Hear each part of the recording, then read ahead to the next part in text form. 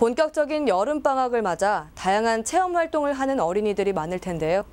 성북구에선 컬링과 펜싱 등 평소 접하기 힘든 스포츠를 접하며 알찬 방학을 보내는 아이들이 있습니다. 박용 기자가 보도합니다. 선수들의 펜싱 시범이 한창인 성북구청. 찌르고 피하고 또 찌르고. 평소 TV에서만 보던 스포츠를 눈앞에서 보는 아이들은 신기하기만 합니다. 곧이어 아이들이 직접 검사가 됐습니다. 안전장비와 펜싱검을 들고 선수들이 가르쳐주는 동작을 하나하나 따라하니 진짜로 펜싱 선수가 된 것 같습니다.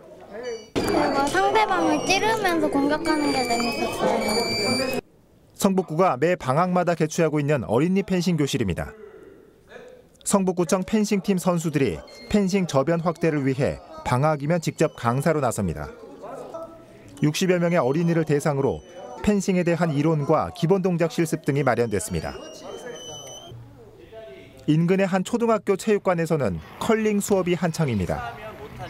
얼음판 대신 마룻바닥에서 진행되지만 친구들과 직접 팀을 이루며 낯설게 느껴졌던 컬링이란 종목에 한 걸음 더 다가갑니다. 어, 친구들이랑 함께 할수 있으니까 재밌어요. 여름 방학을 맞은 성북 아이들이 스포츠 산매경입니다. 구청과 각 학교마다 방학을 맞아 아이들의 건강한 여가 생활을 위해 다양한 스포츠 체험 활동을 마련하고 있습니다. 활동이 컬링 예, 이런 활동이라든가 또 방학 때 다양한 프로그램으로 뭐 축구나 티볼이나 육상 여러 가지 활동을 하고 있습니다. 이 밖에도 성북구는 어린이들을 위한 무료 풀장을 마련합니다. 7월 31일부터 8월 3일까지는 보문동 어린이공원에서 그리고 8월 5일과 6일은 숭덕초등학교 운동장에 water slide와 풀장이 꾸며집니다. 딜라이브 서울 경기 케이블 TV 박용입니다.